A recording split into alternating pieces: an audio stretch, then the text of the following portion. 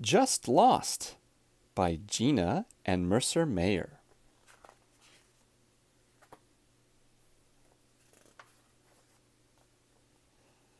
Mom took us shopping at the mall.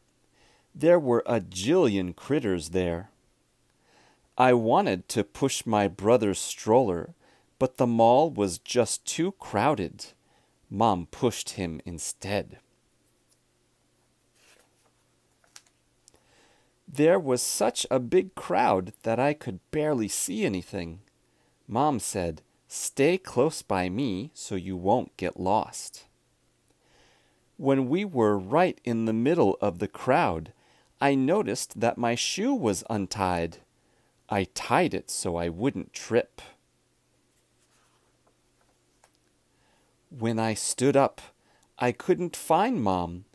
I climbed up on a bench to look around. I yelled, Mom! But it was so noisy, no one could hear me. My mom was lost at the mall. I wanted to cry, but I didn't. I was brave instead. I didn't know what to do, so I went to the toy store. The store clerk said, May I help you?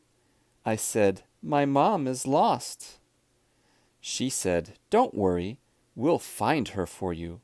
She called a security guard on the store phone. The clerk let me play with some toys while we waited for the security guard to arrive.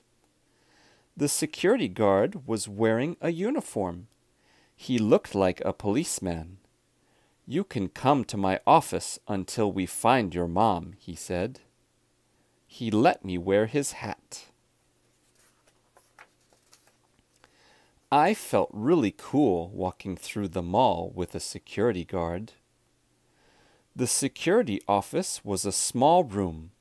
There were lots of TV sets showing everything at the mall. I saw a critter crying. I guess she didn't want to leave the toy store. I saw critters reading in the bookstore. I saw critters eating in the restaurants. But none of them could see me. It was like being a real spy. The security guard made an announcement over the loudspeaker. Little Critter's mom Please come to the security office to pick him up. Then he gave me a donut and some juice. He let me look through the lost and found box. Hmm. All of a sudden, I saw my mom on one of the TV screens. She was walking through the mall with another security guard. I said, There she is. That's my mom the office door opened. Mom and my brother and sister came in. Mom looked worried. I guess she's just not as brave as me. She said, I was so worried. I said, I was really brave. I didn't even cry. Then Mom smiled and said, I'm very proud of you, little critter. I knew she was glad I found them. The next time we go to the mall, I'm going to be really careful. Mom just hates getting lost at the mall. The end. Just Lost